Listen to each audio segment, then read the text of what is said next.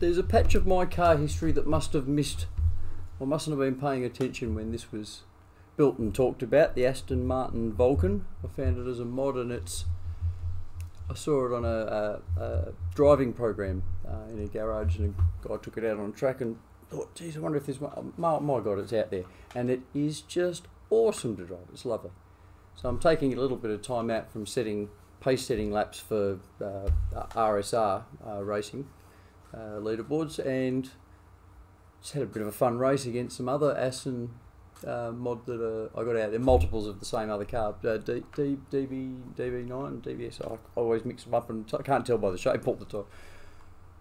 But this this is like the Victor. It's got the uh, uh, exhaust pipes out the side and the flames that spit out and all that sort of stuff. So anyway, I'll shut up and just um, let you enjoy these couple of laps. Uh, uh, Tyres apps aren't reading the, the pressures and stuff off it though, which is quite interesting.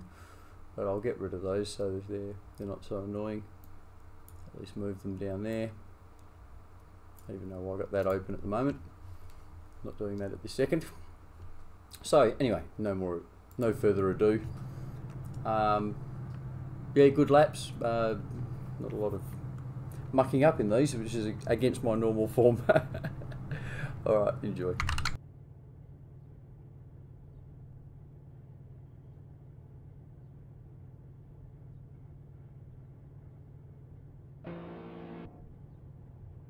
Kind of looking forward to seeing it in action myself. It's a sexy car and it felt really good to drive. I just had to muck around with some tyre pressures just to get that sort of right, you know.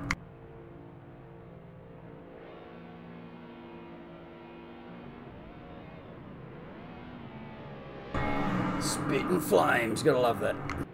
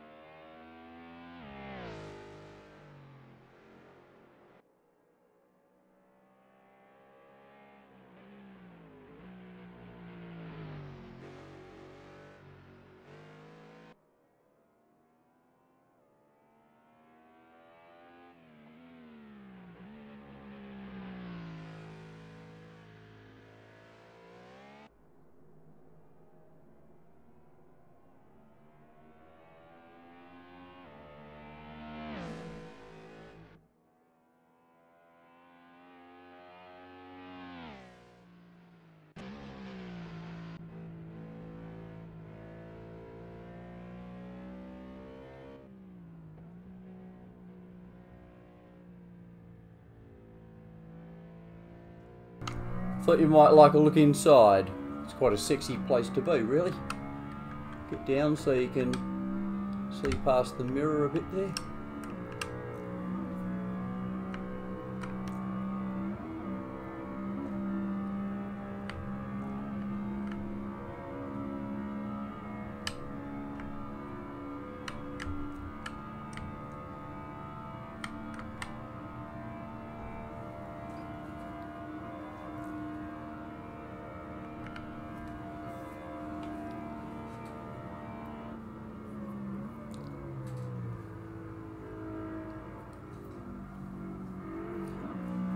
It's my first lap in the car uh, at all uh, at, at, that point of the track, so I was a bit soft going through that bend, but next lap I flogged that. All these corners I flogged them the second lap quite nicely. I could dial another five seconds out of the track off my second time though. It's so much fun to drive. You just don't trust it enough first time round.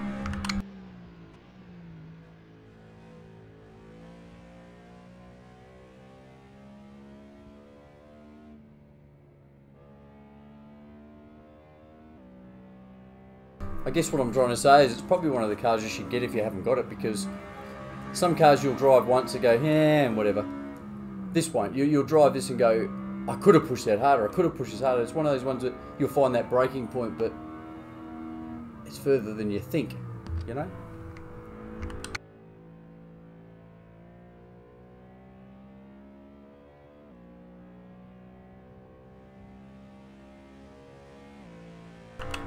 Most other cars, you want to go hard and you're kind of pulling yourself back from urges. This is like, apart from having to catch that back end a fair bit, um, bit of throttle control is something I need to work on. Still like to stamp it flat like I've got a button.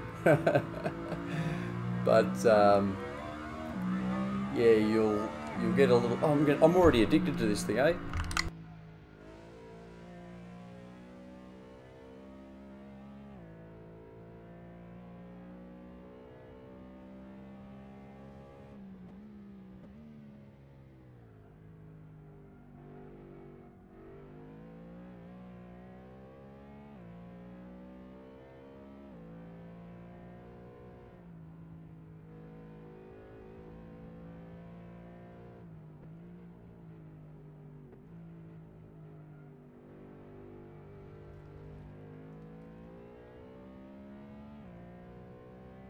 Most of you bastards put the steering wheel on the wrong bloody side of the car too. Fucking uh, pain in the ass for someone like me. By someone like me, I mean a mint bloke Aussie fair dinkum dinky die.